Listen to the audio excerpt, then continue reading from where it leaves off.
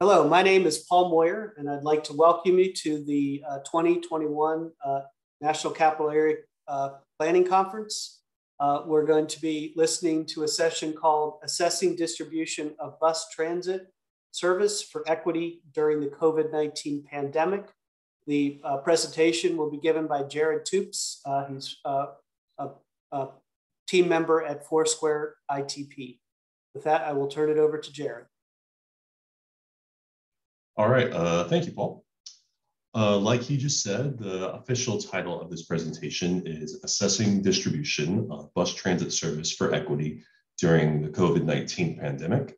Uh, internally and for you know saving some syllables, we just refer to it as the MWCOG Regional Transit Equity Analysis. Um, a little bit about us. Uh, the study uh, clients uh, was led by the National Capital Region Transportation Planning Board, uh, TPB, which is the Capital Region's uh, metropolitan planning organization and hosted within the Metropolitan Washington Council of Governments, MWCOG. The study was prepared by Foursquare Integrated Transportation Planning. We're a small transit and transportation planning firm that have been based here out of D, the DC region for the past 15 years and recently headquartered in DC itself. Um, we do a lot of work in the mid Atlantic region, but have a portfolio that goes across the country, particularly up and down the East Coast and even in Canada. So, the scope of this project, what we were tasked with uh, figuring out, is how did the COVID 19 pandemic and the subsequent recession impacts local bus service in terms of service reductions and their impact on equity and marginalized populations. Um, as an overall rule, this study focused exclusively on local bus. Um, we just know uh, from other sources that rail and commuter bus tend to be a, have a higher threshold for lower income and certain marginalized groups due to higher fares, longer stop spacing, and so we really wanted to focus on local bus because it's the most expansive and the most accessible. And the final goal of this project was to provide a standardized resource for the region's transit providers to reference and discuss as they bring back service um, as, as we, you know, the economy picks up and adjust service to match a new post-pandemic conditions, post being, you know, depending on who you ask. Um, this study was more of an inventory an assessment or a resource for people to reference. It didn't really include recommendations. We amassed the data and presented it in numerous ways. It's up to the providers to determine how to meet these uh, equity gaps that we'll point out that we provided. So part one, uh, distribution of transit service. This was essentially taking a large uh, inventory of equity and local bus service. Um, looking at both the types of service, frequency during certain times of day, the span of service, and then comparing these different service levels at different times of day to a few key groups, um, looking at equity emphasis areas, um, a geographic unit I'll discuss momentarily, looking at marginalized populations, which we'll define uh, in a later slide, and also looking at essential workers, a term that most of us probably didn't think too much about before the pandemic, but now has be, become you know part of a national dialogue. These essential workers who work in food service or medical settings, are they able to get to work when we start cutting service during the pandemic? Um, first, we looked at marginalized populations, and this was, in a sense, a large data dump, a big table comparing the access for these various marginalized groups compared to the population uh, as a whole, based on if they were within a quarter mile of a bus stop. So these populations include total population, persons of color, low income households, um, low wage jobs, uh, low wage workers, uh, the full list here on the right. The variables italicized are variables that we included in the equity index, which we'll talk about later in the presentation, but we wanted a large list of just general variables. Um, in terms of our data sources, all of our sources regarding transit level of service, were from GTFS feeds, and then demographics and employment data were from the American Community Survey and uh, LEHD, respectively. Um, also mentioned equity emphasis areas. These are predefined geographies by uh, TPB, and they're small, small geographic areas that have significant concentrations of low income, minority populations, or both. And so these just provided sort of another frame of reference to compare to the general population. Okay, if you live within an equity emphasis area, what is your access transit compared to the general population? And then finally, like I mentioned, essential workers. This was not a data set that's predefined in the census, obviously. Um, we wanted to get a sense of essential workers at both where they live and where they work. For home locations, we just used uh, low wage workers as a proxy from LEHD uh, data. For work locations, uh, the CDC provided a long list of industries it considered essential at anywhere from the four to six digit NAICS code, um, as seen here in the image on the right. And this was really helpful. Unfortunately, data at this detail fidelity doesn't exist beyond the county level. So we were forced to interpolate uh, essential job counts at the block group level by looking at the distribution of larger NAICS categories, the two digit NAICS categories at the county level, and sort of interpolating those down. So when we map and talk about essential worker counts, it's an estimation at best based off of parent geography. Um, so part one results, this map is one of many that we made in the series showing the density of all these various groups I've mentioned, uh, marginalized populations, job counts, et cetera, and their, real, and their density, um, both within and outside of a quarter mile bus stop buffer. So it's a way to sort of very quickly see, oh, if you see the bright red, that's a lot of whichever group you're looking at. And here, overall job density that's not within this quarter mile buffer. So it's a quick and easy way to get a sense of where there's bus service, where there's not, and what are we missing. Um, we also just looked at percentages of all these different variables and compared them to uh, within these bus buffers to the greater MWCOG study area. For example, 65% of people of color and 74% uh, of low income households are within a quarter mile of a bus stop compared to 60% of people of color or uh, house, or, sorry, 60% of the total population or total households as a whole. And so we had a lot of these conclusions that compared these percentages. And the overall almost consensus we found is that while all of these marginalized population groups have more access to transit overall than the general population, once we start looking at high frequency transit, typically 15 minutes in the AM peak or 30 minutes during Saturday midday, um, they lost this advantage. So they have access to more general transit, high quality transit, and they start to lag behind the region overall. Um, so for part two was to continue this analysis, take all these demographics and provide more distilled, uh, distinct references for transit agencies to be able to review and uh, make decisions off of. And we had three related but distinct deliverables. The first being a network's job, a network jobs accessibility analysis using uh, Conveyal. The second being a list of routes and their revenue hour changes. And the third being our equity and service gaps analysis. So network jobs analysis, we used an online tool uh, called Conveyal to get a sense of within a 45 minute bus trip, how many jobs do you have access to? And we looked at all jobs for all workers, um, all jobs for workers within equity emphasis areas, access to essential jobs for workers, not all workers, excuse me, comparing access to both all jobs and essential jobs for workers both within equity emphasis areas and outside of equity emphasis areas.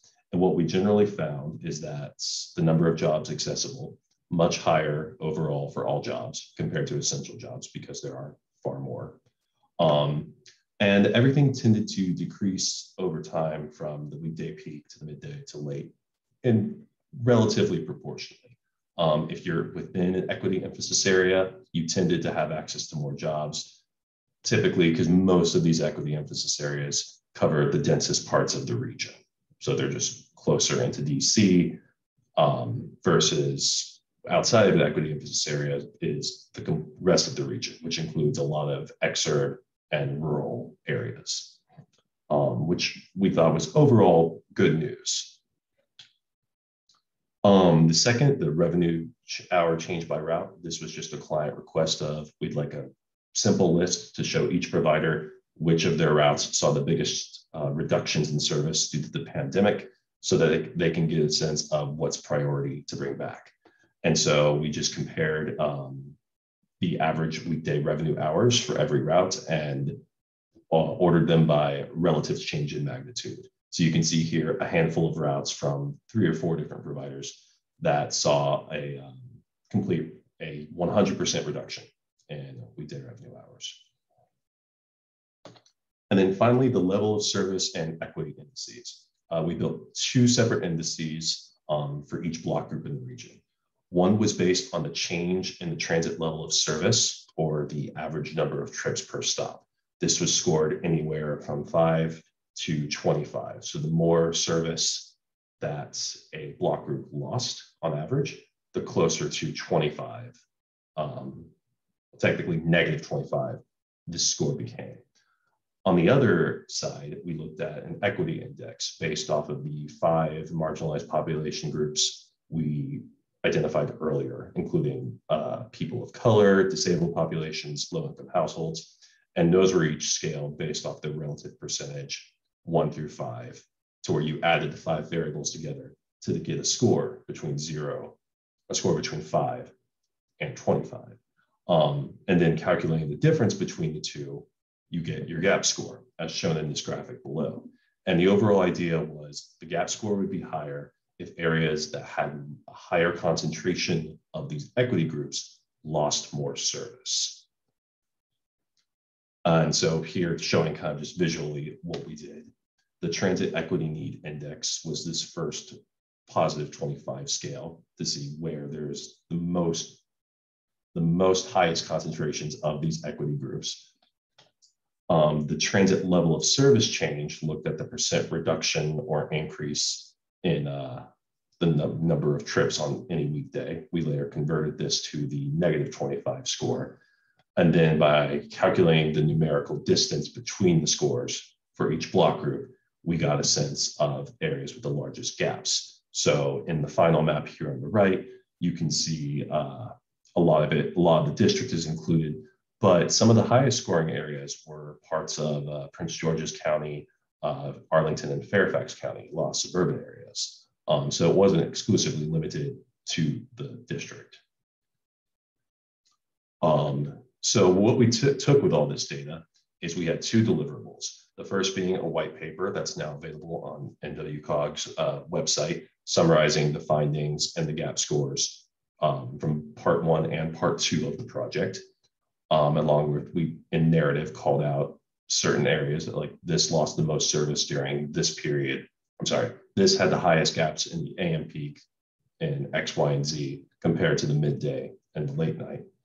And then we uh, also put together a very comprehensive web map of all the data layers we created.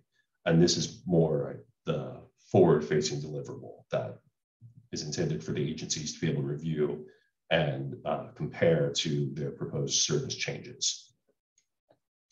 Um, some limitations and lessons learned um, of this study.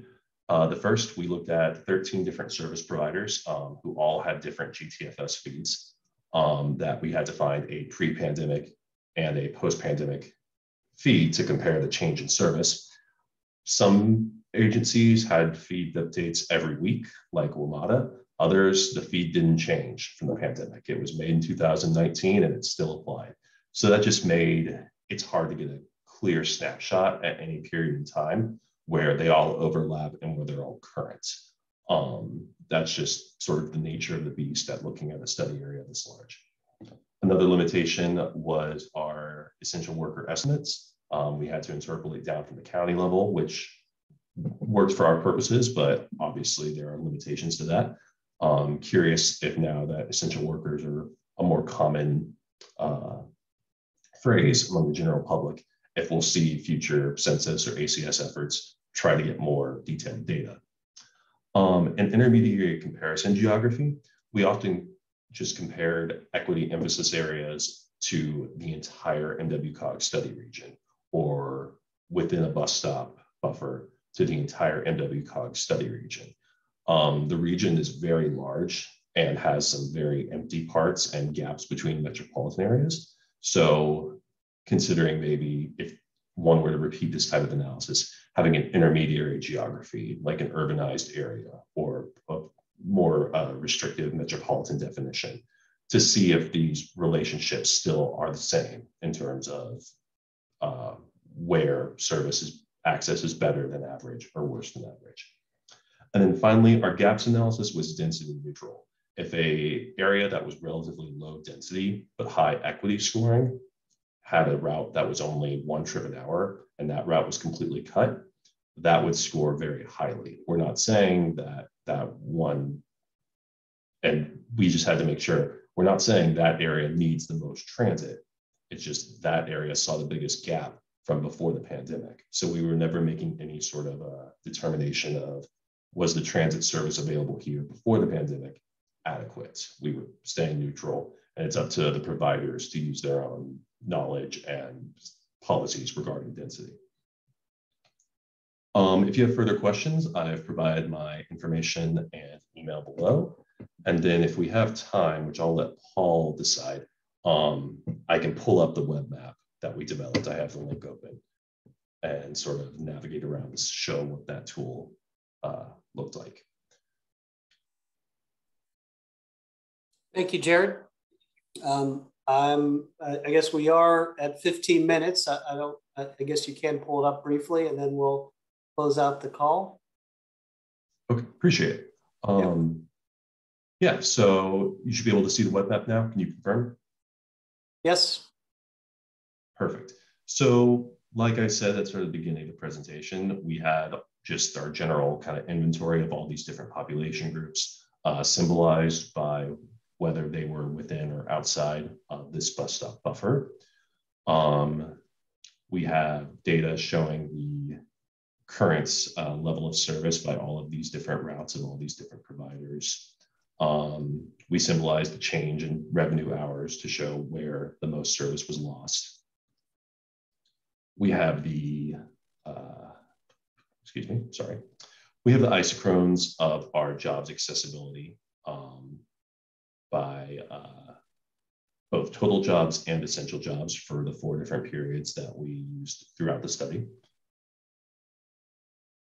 And then getting to the end of things, we have the results of our equity index along with the gaps analysis so that providers could scroll in and see the equity index score was X, we saw X change in trips, which got us a transit, transit change score of Y, and the gap between them 43. So this is pretty high scoring. Um, we also have general, general information, a link back to the white paper that this was based off, and give opportunity for various stakeholders to be able to zoom in to their region, um, to their specific jurisdiction. And that's all I have. Thank you, Paul. Thank you very much, Jared. That was very interesting. Appreciate everybody's time and uh, hope you have a good uh, rest of your day. You as well. Take care.